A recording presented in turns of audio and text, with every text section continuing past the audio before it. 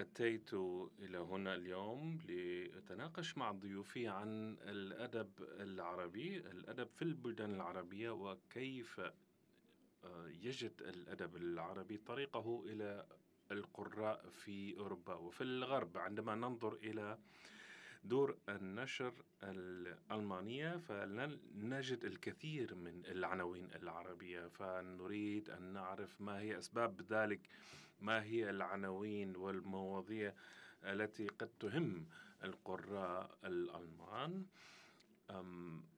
كيف يمكن إيقاظ اهتمامهم؟ ولكن آه، أو إثارة اهتمامهم. ولكن نود أن نسأل أيضا ما هي المواضيع التي تهم القارئ العربي. ما هي العناوين العناوين التي من المفترض أن تترجم إلى اللغة العربية أيضا؟ وما هي تحديات سوق الكتاب العربي بالذات؟ أود أن أتحدث عن ذلك مع ضيوفي رشا الأمير من بيروت. أهلا بك.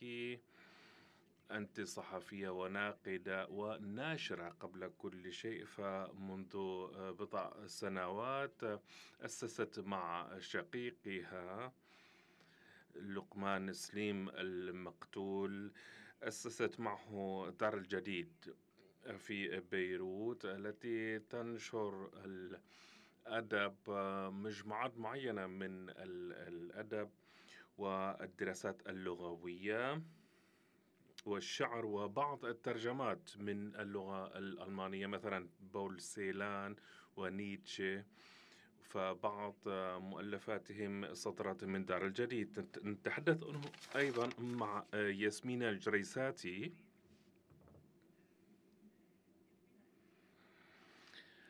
التي تتحدث إلينا من دبي.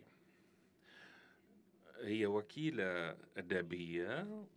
ومديرة النشر في منصة مينا. وأيضا أسست وكالة راية الأدبية منذ بضع سنوات حيث تنشر الكثير من الأدباء العرب خاصة من لبنان إلياس خوري وهدى بركات بعض المؤلفين من سوريا مصطفى خليفة ديما والنوس سمر يزبك ومن العراق سنعان أنطون وغيرهم من الأسماء البراقة. ونتحدث آه، أيضا مع بييرو سلابي الذي يتحدث إلينا من ميونخ وهو شاعر ومترجم وناشر في دار نشر هنزر وهو مكلف بشؤون الكتب المترجمة من اللغات الأوروبية وال واللغة العربية أيضا.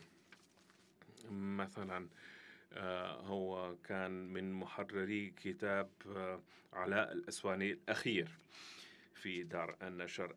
نبدأ مع ياسمينة آه، لأنها تعيش في العالمين. هي تعرف سوق الكتاب العربي والأوروبي.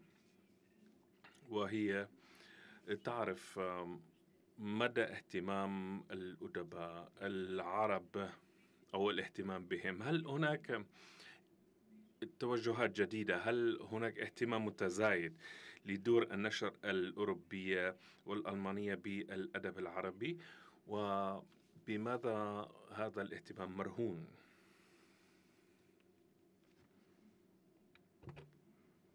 شكرا على هذا السؤال. نعم في البداية أود أن أشكركم على أن تستضيفوني في هذه المنصة. هنا عبر الشاشة أتمنى أن نلتقي من جديد بشكل مباشر. منذ 17 سنة أعمل كناشرة أدبية كمديرة وكالة أدبية وأستطيع القول بأن هناك اهتمام بقصص معينة مختلفة في بعض الأحيان. طبعا آه، بدرجات آه، مختلفة في الأسواق الغربية المختلفة. ولكن هناك اهتمام متزايد منذ الربيع العربي. ولاحظنا ذلك حتى أثناء الحرب اللبنانية من قبل.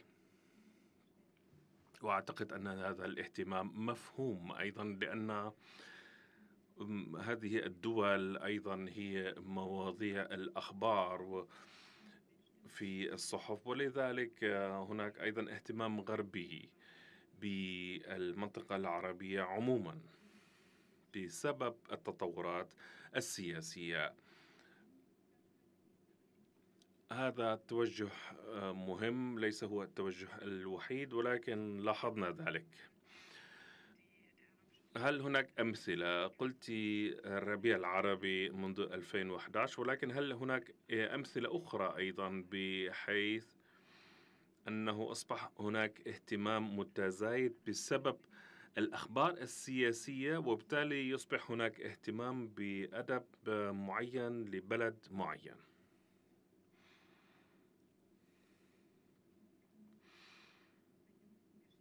أستطيع أن أعطيكم مثال من عملي أنا بحيث أنه في الآونة الأخيرة كان هناك اهتمام متزايد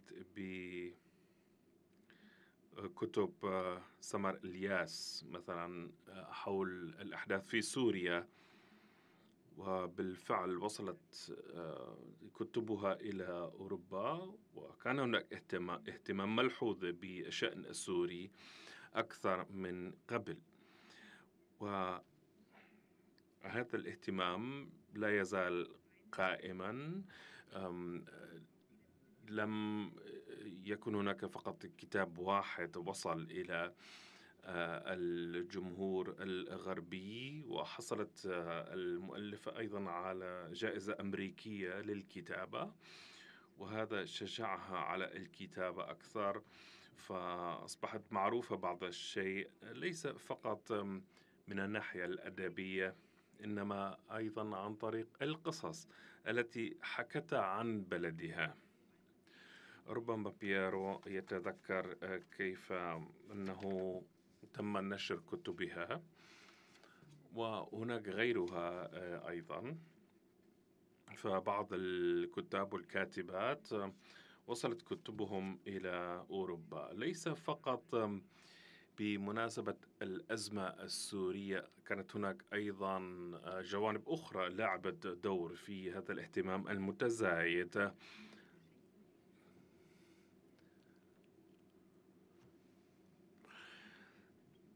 ففي فترة معينة أصبح هناك اهتمام متزايد. وهل هناك اهتمام مستدام؟ إذا كان الاهتمام ينبع من الأخبار. كوكيلة حاولت دائما أن أدعم الأدب من أجل الأدب. بالطبع من الصعب في بعض الأحيان الفصل بين الأدب والأحداث. إذا كانت هناك رواية آه، من آه، سوريا فلا يجب أن نركز فقط على الشأن السوري السياسي إنما يجب أن آه، نركز على الأدب أيضا. بعيدا عن الأخبار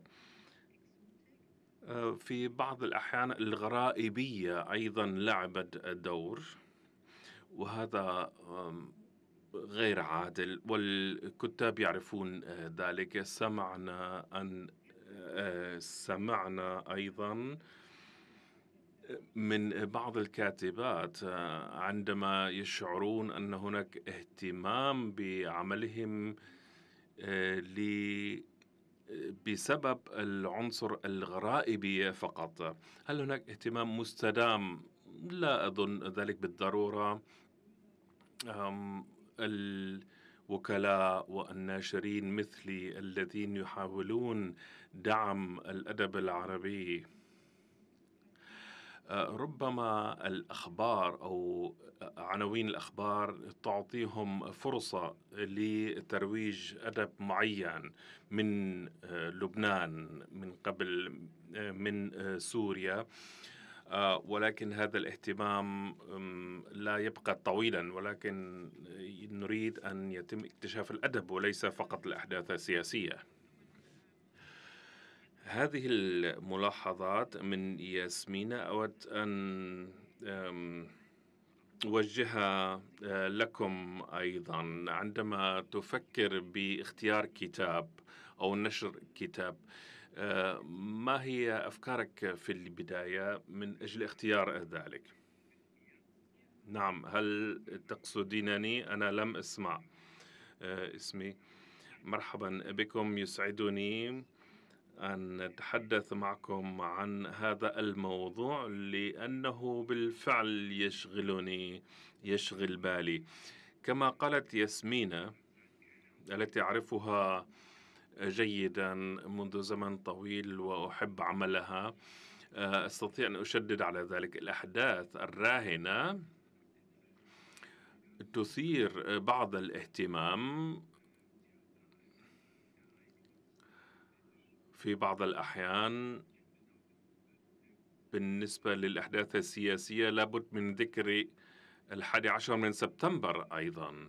ففي تلك اللحظة آه، اضطرت أوروبا أن آه، تتعامل وأن تتعرف على ثقافة غريبة آه، من وجهة نظرهم في بعض الأحيان.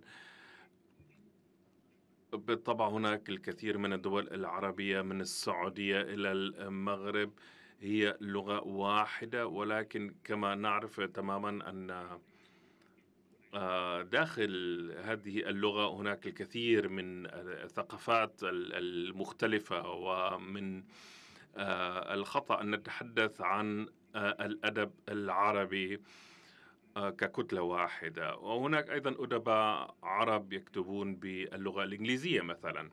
على كل حال هذا الاهتمام بتلك الثقافة الجديدة أدى إلى اهتمام متزايد وإلى نشر المزيد من الكتب العربية. ولكن لدينا في دار النشر عندما نعتقد آه، أن هناك اهتمام بكتاب عربي معين مثلا آه، رواية النجم آه، والي.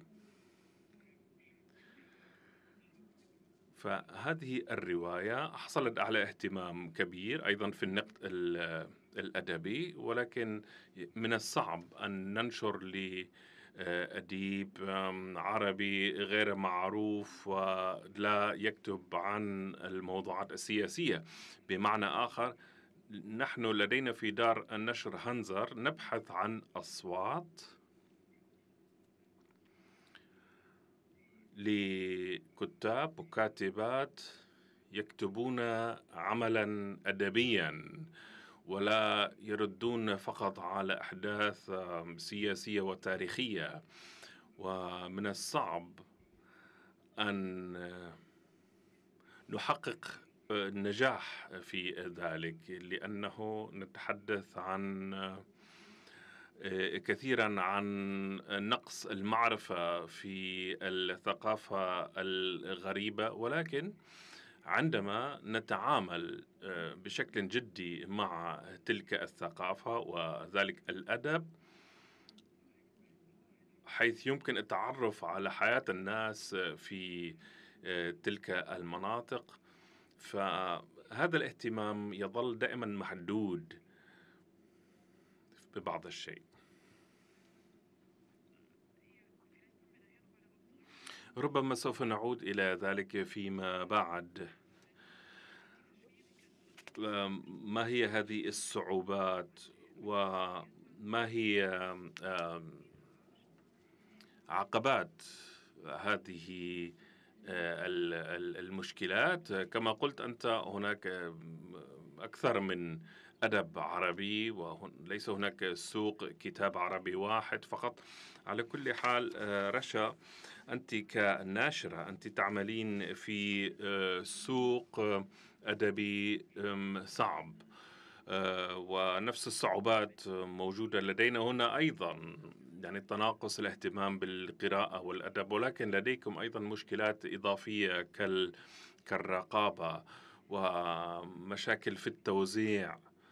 هناك مشكلة النسخ غير المرخصة للكتب الأدبية في البلدان العربية وبعض الأسواق انهارت كاملا بسبب الحروب والأزمات في سوريا مثلا في العراق فأنت كناشرة كيف تعملين في هذا المحيط؟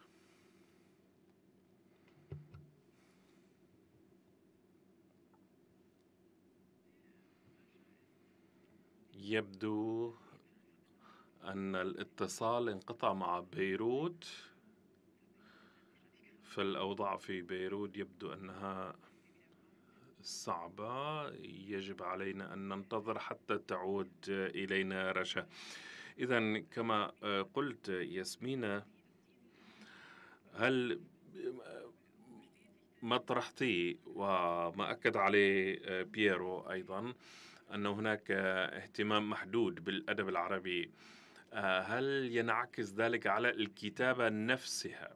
فالمؤلفين العرب بالتأكيد يعرفون هذه المشكلة وربما يعرفون أيضا عندما يريدون أن ينجحوا فيحتاجون إلى الأسواق الغربية أيضا. هل ينعكس ذلك على الكتابة على اختيار المواضيع لديهم أيضا؟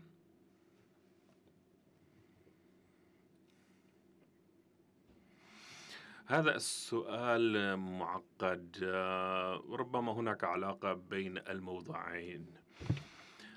نعم هناك طلب على الترجمات في البلدان العربية. ليس كما في بلدان أخرى. الكثير من الكتاب الشباب يريدون أن تترجم أعمالهم ربما أكثر من بلدان أخرى. ربما الناشرين الفرنسيين يبدأون بالترجمة فورا إذا كان هناك اهتمام أو يتوقعون أن يكون هناك اهتمام. آه، ولكن بالنسبة للكثير من المؤلفين العرب فنجاحهم هو في الغرب وليس في بلدانهم. بالفعل أنا كان لدي الكثير من من المؤلفين الشباب. جاءوا إلي ويبحثون عن الشهرة إن صح التعبير. فلنقل ليس فقط الموضوع هو عناوين الأخبار إنما سمعت أيضا أن مواضيع مثل اضطهاد المرأة آه، تعتبر مهمة بالنسبة آه، لهم من أكثر من آه، ناحية. أما بالنسبة للسياسة فالموضوع أكثر تعقيدا ليس من السهل أصلا آه، الكتابة عن المواضيع السياسية. إن كنت تعيش في بلد عربي فعليك أن تفكر مرتين قبل أن تكتب عن مثل هذه القضايا ففي ذلك مخاطرة. والكثير منهم يغادرون دولهم عندما يكتبون عن هذه الأوضاع. في مصر مثلا كان هناك الكثير من الكتب آه، التي تتناول أحداث الثورة المصرية وهذه القضية شائكة. بعيدا عن آه، التوثيق المباشر الإيجابي أو السلبي آه، هناك عملية هضم لهذه الأحداث إلى اليوم ولدى البعض هناك أفكار متشابهة ولكن يعالجونها بطرق مختلفة. في مصر هناك الكثير من الكتب التي صدرت عن الثورة ولكن آه، لا تعتبر كتب سياسية أو روايات سياسية. فالجواب نعم هناك بعض الكتاب يريدون أن تترجم أعمالهم وأن يشتهروا في الخارج أيضا ولكن ليس بالضرورة فقط عن طريق القضايا السياسية كما قيل آه، في بعض الأحيان بعض الكتاب العرب يكتبون أيضا باللغة الإنجليزية والفرنسية من البداية هل ذلك من أجل نجاحهم في الأسواق الأوروبية؟ ليس بالضرورة. نعم هناك بعض الكتاب الذين يكتبون باللغة الإنجليزية أو الفرنسية. اللغة الفرنسية مهمة بالنسبة لشمال إفريقيا ربما للبنان.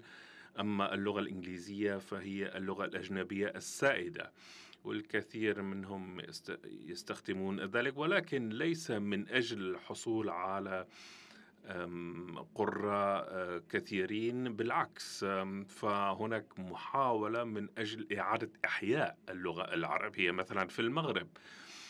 آه، فالأدباء الشباب آه، يريدون يسعون للكتابة باللغة العربية قبل كل شيء. ولكن هناك أيضا كتاب ناجحون من الوطن العربي يكتبون باللغة الإنجليزية أو الفرنسية ولكن ليس من أجل النجاح يكتبون بهذه اللغات. السؤال آه الذي علينا أن نطرحه أو ربما يطرحه الناشر في البداية. بالتأكيد هناك سعي نحو آه، تسويق والترويج لأدب آه، ليس مسيسا في في المبدأ ولكن ليس هناك اهتمام بالضرورة بأدب غير سياسي. إذا ما هي الإجراءات وما هي ما هو المطلوب من أجل إثارة اهتمام القراء عندما لا يطلبون مثل هذه الكتب؟ يعني كيف يمكننا أن نثير هذا الطلب؟ هذا سؤال مهم في الحقيقة أنا أعتقد أنه من المهم جدا أن أن يكون هناك كتاب ينجح لفترة طويلة آه، عندما ننظر إلى أمريكا اللاتينية. بسبب غارسيا ماركيز مئة عام من العزلة فهذه الرواية أثارت الكثير من الاهتمام بأدب أمريكا اللاتينية. أما جائزة نوبل للأدب لهذا العام آه، قد تثير اهتماما متزايدا لبلدان إفريقية. مثلا أو لبعض البلدان العربية على القارة الإفريقية. آه، الفائز بالجائزة ليس كاتبا عربيا ولكنه من إفريقيا وربما يثير آه، ذلك بعض الاهتمام. بالطبع الأمر مرهون بالمراجعات في في الإعلام. هناك آه، بعض الآمال آه، من هذه الناحية ولكن شبكة آه، الارتباطات بين أوروبا الغربية والعالم العربي يجب أن تتوسع. وهذا ما يحدث هنا عن طريق أشخاص مثل ياسمينة ووكالتها التي تدعم الكثير من الكتاب. فهذه الشبكات مهمة للغاية. وهناك أيضا آه، خبراء هناك المترجمين. الديوان آه، جوتي الديوان الغربي الشرقي. ترجمه هامر بوركشتال إلى اللغة العربية. فبدون المترجمين وبدون آه، من يعملون من أجل ترويج هذه الأعمال آه، لا يمكن أن يتحقق نجاح. أنا بالطبع شخصيا لا أجيد اللغة العربية وعندما نتحدث عن كتب عربية أو عندما ننصح بنشر آه، كتاب عربي آه، معين مثلا من المترجم هارتموت فاندريخ وهو آه، معروف جدا أو لاريسا بندر التي ترجمت لسمر يزبك آه، أو ستيفان فايدنر وغيرهم آه، والذين يكتبون التقارير الأدبية في بعض الأحيان من غير أن يترجموا. فدور الوساطة مهم جدا هنا. و سنرحب لو كان هناك اهتمام متزايد من قبل الإعلام أيضا من ناحية مراجع مراجعة هذه الكتب. وبالتالي هذا سوف يشجع دور النشر أيضا على آه، ترجمة الكتب العربية.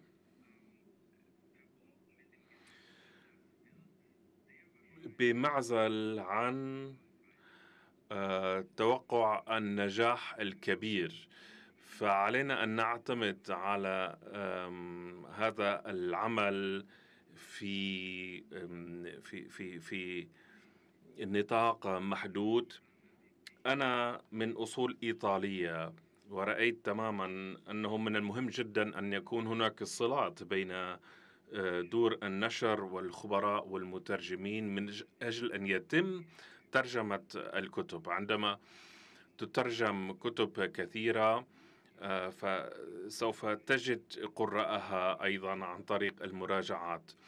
نعم هناك اهتمام بالثقافة الإسلامية والعربية بأسباب معروفة ولكن نتمنى أن آه، يتوسع هذا الاهتمام بحيث يكون اهتمام بحياة الناس هناك وليس فقط بالأخبار. السياسية الخطيرة. أتذكر هنا مثال.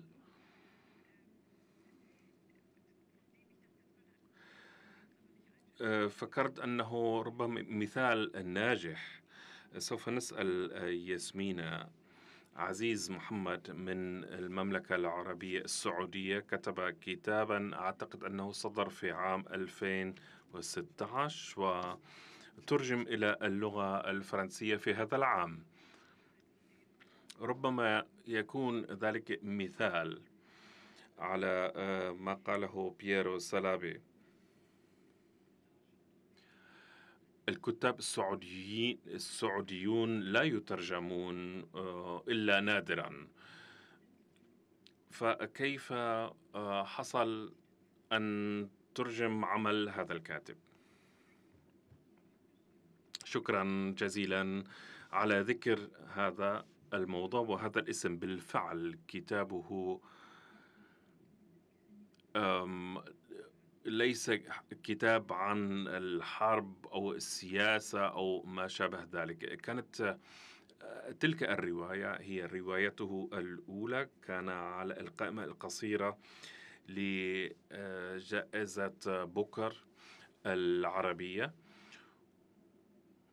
وهكذا سمعت عن هذا الكتاب لأول مرة. بالطبع دائما أنا أقرأ الكتب المكتوبة على القائمة القصيرة وأنا كنت حاضرة آه، أثناء منح الجائزة وشخصي شخصيته أيضا مؤثرة. كتابه هو كتاب عن مرض آه، السرطان. في مصر آه، أيضا هناك كتب فكاهية. نجد ذلك نادرا في السعودية ولكن يحدث ذلك في بعض الأحيان وهذا الكتاب مثال على ذلك. رغم جدية الموضوع فكيف يعيش المريض مع عائلته؟ فهذا الكتاب أثار الكثير من الاهتمام.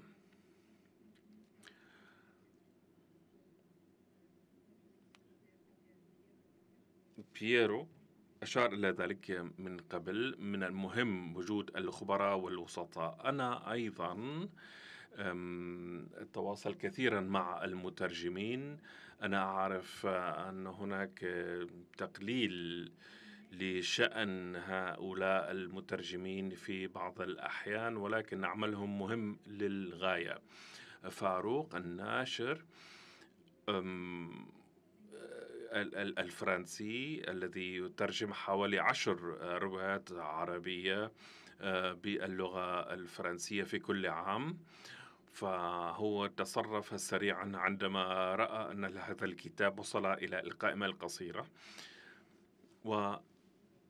القنصلية السعودية في آه، فرنسا آه، أيضا ساعدته في ذلك. وهم يعطون المنح أيضا للكتاب والمترجمين فكان لديهم أيضا اهتمام بهذا الكتاب وتوجهوا إليه وكان في ذلك فائدة. الكتاب السعوديون غير معروفين في الأدب عموما. التعاون مع بعضهم وكنت أحاول أن أسوق كتبهم في الماضي أيضا. في بعض الأحيان ننجح في إثارة الاهتمام بهذه القضايا بالرغم من أن السعودية آه، تعتبر بعيدة آه، عن نطاق الاهتمام آه، في الغرب عموما ومن الرائع أن نجد آه، مثل هذه الأمثلة أن يكون هناك رواية ناجحة وتترجم فورا إلى لغة غربية وماذا عن ماذا عنكم؟ هل لديكم اهتمام بمثل هذا الكتاب؟ يعني أنت ربما لم تقرأ هذه الرواية ولكن بعد أن تكون سمعت إلى ما قيل الآن عن هذه الرواية السعودية هل لديكم اهتمام بذلك؟ أنا شخصيا بكل تأكيد أهتم آه، بذلك آه، دائما آه، وأنا أتواصل مع ياسمينة في هذه الشؤون دائما آه، مثل هذا الكتاب آه، لابد أن يكون لدينا تقرير عنه لخبير. علينا أن نعرف هل هذا الكتاب آه، يكتب بشكل مثير. اولا هل يهمنا الموضوع؟ الأمر مرهون دائما بالمستوى الأدبي. وهنا نعتمد كثيرا على الخبراء الذين يكتبون لنا التقارير. إن لم تكن هذه الكتب منشورة باللغة الفرنسية أو الإنجليزية حيث نستطيع أن نقرأها بأنفسنا. فلو كان ذلك ف سوف أعتمد على النص على الكتاب نفسه. ليس هناك سبب يمنعنا من نشر قصة من بلد معين. إن كان النص مكتوب بلغة ممتازة. أما توقعات النجاح المحدودة بسبب بعد البلد نعم هذا يلعب الدور أيضا في بعض الأحيان. هناك كاتبة من من عمان القاتي آه، تكتب باللغة الإنجليزية في بعض الأحيان. أنا فكرت طويلا آه، هل نأخذ الرواية؟ أنا أحببتها جدا ولكن آه، الأحداث تدور في في بلد يعتبر بعيد عن الاهتمام الغربي كثيرا. وكانت آه، إن صح التعبير موسيقى آه، الرواية كانت خافتة ومن الصعب أن نجد قراء لمثل هذه الأعمال إلا إذا كانت هناك مراجعات كثيرة وممتازة لمثل هذه الكتب. هناك الكثير من من العوامل المهمة في اختيار الكتب. في بعض الأحيان إذا كان وصف الواقع في الروايات مبسط فهذا شيء. أما إذا كان الوصف معقد جدا فيجب أن يكون المستوى الأدبي آه، عالي للغاية من أجل أن ينشر الكتاب. للأسف آه، لم نستطع أن نتصل مع رشا الأمير. يبدو أن شبكة الإنترنت ضعيفة جدا في بيروت. إذا نتحدث مع ياسمينة مرة أخرى عن النشر وتسويق الكتب في الدول العربية. كما قلت عندما سألت رشا هناك صعوبات معينة في سوق الكتاب العربي هناك الرقابة هناك صعوبات في التوزيع هناك نسخ غير مرخصة. آه، حتى لبنان أيضا أصبح الآن دولة تعيش في أزمة عميقة وهذا هذه الأزمة آه، تشمل أيضا سوق الكتاب. فما هو تقييمك بالنسبة للبنان بالذات؟ ماذا يعني ذلك بالنسبة لنشر الكتب في لبنان؟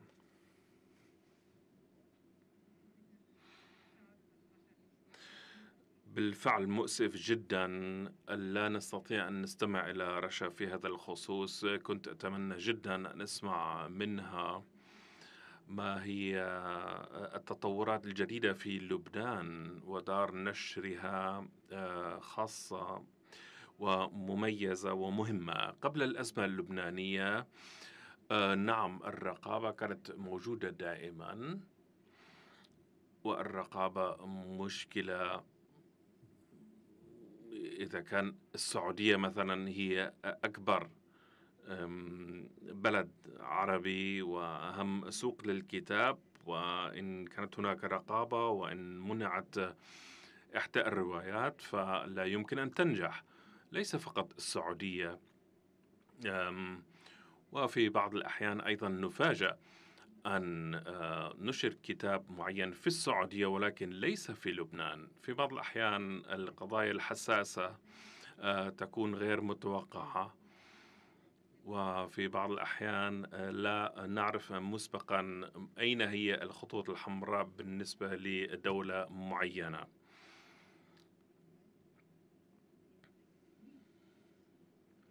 من أجل أن نعرف ما هي القضايا الشائكة و ولكن هناك مفاجآت وتطورات جديدة. وتكتب أشياء لم تكن متوقعة وبعض هذه الكتب تصل إلى السوق والناشرون دائما يشتكون من الخسائر بسبب النسخ الغير مرخصة. لا أعرف كم هي خسائرهم ولكن وجود النسخ غير المرخصة آه، هذا يعني أيضا أن هناك اهتمام من قبل القراء. إما آه، أن يجدوا أن أسعار الكتب آه، أغلى من اللازم أو هناك مشاكل في التوزيع. بالتأكيد هناك أسباب لوجود ظاهرة النسخ غير المرخصة. في بعض الأحيان أنا أيضا عندما أسمع عن كتاب فأبحث عن file ال PDF في البداية في الإنترنت من أجل أن أقرأ هذا الكتاب. ولكن بالطبع من الصعب آه، أن يستثمر الناشر في آه، كتاب ثم آه، تروج النسخ غير المرخصة في السوق. ولكن الوضع في لبنان أيضا مرعب بعض الشيء. إن صح التعبير أنا على التواصل مع كثير من الزملاء هناك. أنا أحترم شجاعتهم وصمودهم أيضا إلى الآن وكيف يحاولون أن يستمروا في عملهم. أن تحدثت مع دار الآداب وكانت مديرتهم فخورة بأنها ظلت تنشر حتى أثناء الجائحة. أنا لا أعرف كيف هي الأوضاع بالنسبة للدور الصغيرة. نظرا لانقطاع الكهرباء نظرا لنقص الوقود في البلد. الناس بحاجة إلى مولدات كهربائية خاصة من أجل استخدام الكهرباء ولكن عموما بدون كهرباء بدون بنزين بدون إنترنت من الصعب جدا الاستمرار في النشر. حتى ال ال الورق والتكاليف الورق المتزايدة وذلك في ظل التضخم المالي الكبير في لبنان فمن الصعب الاستمرار في هذا العمل. آه، علما أن لبنان كان دائما مهم للغاية من آه، بالنسبة للنشر فلبنان كان ينشر الكتب للعالم العربي كله. ونشروا لكتاب عرب من جميع الدول العربية. في بعض الأحيان ذهبت الكتب من لبنان مباشرة إلى مصر حيث أن مصر سوق كبير ومهم. وبالتالي نشروا للكثير من الكتاب العرب من خارج لبنان. وبالتالي علينا أن ندعم لبنان بهذا الخصوص أيضاً.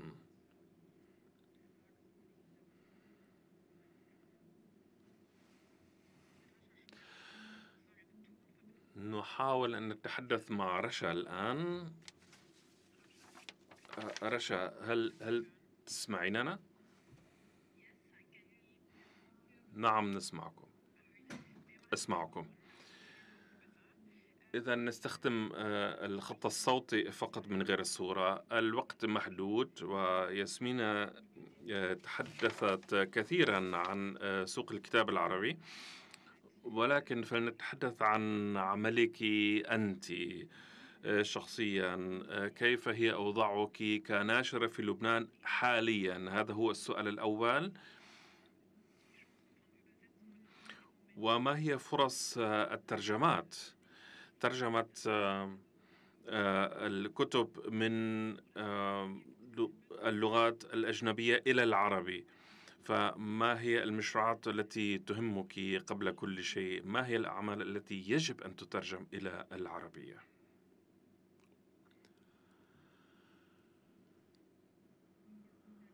كما قالت ياسمين نحن نحاول أن نبقى على قيد الحياة حاليا أنا أعيش في لبنان آه، النقص يشمل كل شيء الكهرباء والبنزين ولكن لا نستسلم. نحن نحاول أن نبقى على قيد الحياة وأن نستمر. نحاول أن ننشر المزيد من الكتب الإلكترونية.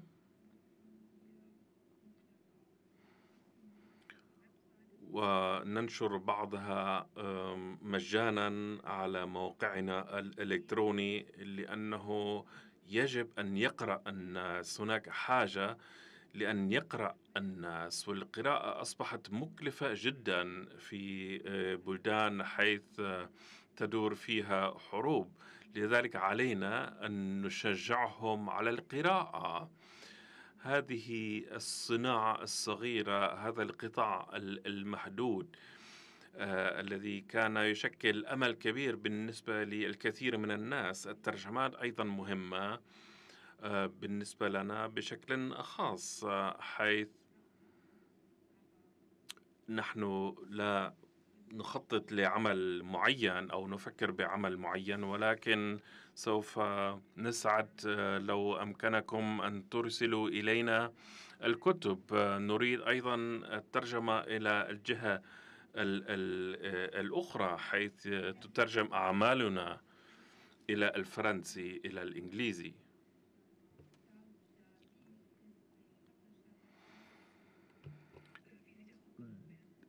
وكيف تستقبل أعمال الدار الجديد؟ بول سيلان ونيتشه وغيرهم. أعرف أن لديكم الكثير من المشاريع من أجل آه، نشر أو ترجمة الكتب آه، آه، أو المزيد من الكتب. ما هي هذه الكتب؟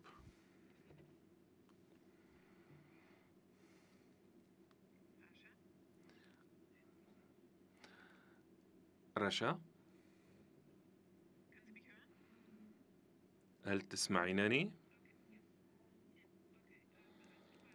إذا آه، سؤال أخير حول الترجمات أنا أعرف آه، أنك ترجمت الكثير من الكتب ودار الجديد نشرت الكثير من الكتب من الألماني آه، باللغة الألمانية ما هي أو أو ما هي أهم الكتب القادمة التي سوف تنشروها أو تترجموها؟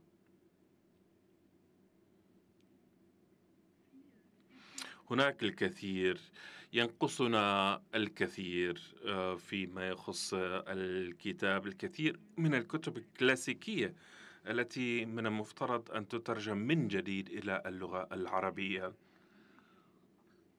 بدءا بالكتب اليونانية الكلاسيكية التي كانت مؤثرة جدا أيضا بالنسبة للعالم العربي. من المفترض أن تترجم من جديد إلى العربي. أيضا كتب جوتي ليس فقط الكتب الحديثة والمعاصرة إنما الكلاسيكية أيضا. ونحتاج إلى عدة حيوات إن صح التعبير من أجل ترجمة كل هذه الأعمال. ليس فقط من الألماني من الإنجليزي والفرنسي أيضا. فعلى المترجمين أن يشتغلوا كثيرا ونأمل أن ننجز ذلك في حدود إمكانياتنا في دار النشر شكرا جزيلا تجاوزنا الوقت